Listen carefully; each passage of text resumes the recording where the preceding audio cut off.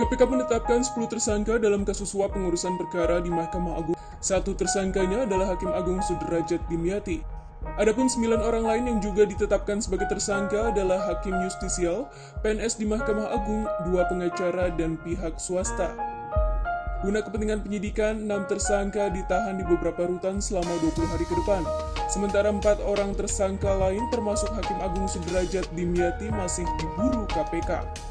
Pada Rabu 21 September 2022, KPK melakukan operasi tangkap tangan di Jakarta dan Semarang, Jawa Tengah. OTT ini terkait dugaan suap dan pungutan tidak sah di MA.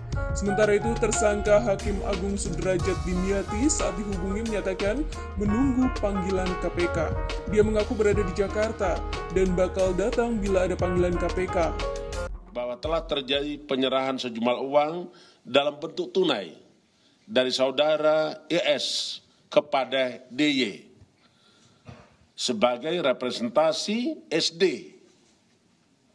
di salah satu hotel di Bekasi. Kan barang bukti berupa uang tunai sebesar 205 ribu Singapura dolar dan 50 juta rupiah. Berdasarkan hasil keterangan saksi dan alat bukti yang cukup, maka penyidik menetapkan sebanyak 10 orang sebagai tersangka sebagai berikut. Pertama SD, Hakim Agung pada Mahkamah Agung Republik Indonesia. Kedua, ETP, Hakim Yudisial garis miring Panitra Pengganti Mahkamah Agung Republik Indonesia. Tiga, DY, PNS pada Kemitraan Mahkamah Agung.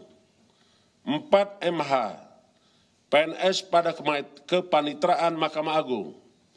5 RD, PNS Mahkamah Agung, 6 AB, PNS Mahkamah Agung, 7 YP, pengacara, 8 ES, pengacara, 9 HT, swasta, debitur koperasi simpan pinjam, ED,